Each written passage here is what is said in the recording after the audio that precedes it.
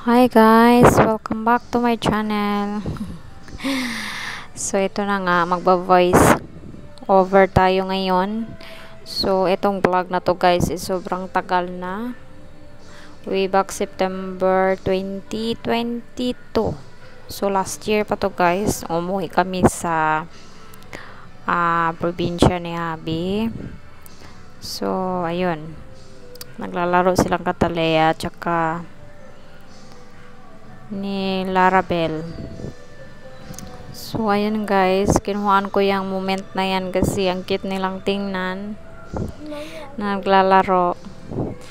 So, para paglaki ni Katalea, may mapapanood pa siya. So, ayun. Um, actually guys, maiksi lang to.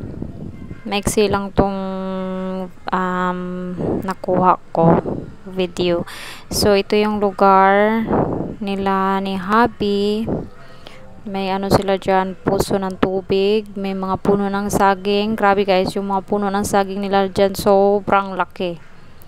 Bakit ko nasabing sobrang laki? Sobrang laki, tapos sobrang taas.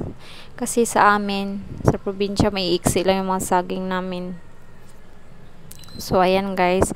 Etong ano na to is pauwi na kami dito sa Manila niyan. Uh, babalik na kami niyan. So, pumunta kami sa taas kasi doon kami matutulog sa bahay nila Lola. And then, yung bridge na yan guys. So, nakita nyo yan. Sobrang nakakatakot. Nakakalola. So, ayan. Naglalakad kami ni Habi niyan. Tapos pasan niya si Catalea. Walang tulog si Catalea ng time na yan guys. Sobrang pagod na niyan. Tapos naligo pa yan sa ano, suba. Ano ba sa Tagalog ang suba? Hindi ko alam anong Tagalog sa suba. Sapa. Basta ganon. Ah, uh, naligo sila niyan. Tapos, ayun, may mga tubo sa gilid. And then, nagkukwentuhan kami ni Habi niyan. Sobrang nag enjoy ako sa kanila guys, as in. And then, yung mga tao doon, ah, uh, maasikaso.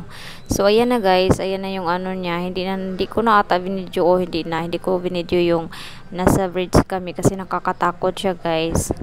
Ayan guys, sa tingin nyo parang malali, uh, mababaw lang pero sobrang lalim niyan. Tapos yan, binidyohan ko din yung mga malunggay nila. Sobrang daming malunggay nila doon, guys. Naignorante sa malunggay. Hindi naalala ko kasi yung papa ko. Sobrang hilig niya sa malunggay. As in. Tapos yan, nakikita ko sa gilid ng daan nila. Grabe, ang daming malunggay. Tapos ito guys is kinabukasan na nung nakasakay na kami ng eroplano pabalik dito sa Maynila. So, ayun. Um, first time ko yan guys na dumungaw dyan. Na makita yan. Na makikita pala yung buong lugar. Kasi sobrang takot ako sa mga ganyan, mga heights. Kaya hindi ako masyado dumudungaw kahit sobrang tagal ko nang sumakay ng eroplano. So, ayun um, dito lang guys. Maiksi lang tong video na to. Sana nag-enjoy kayo. Please subscribe to my channel and uh, don't forget to like and share. Dito lang muna. Bye for now. God bless. God bless guys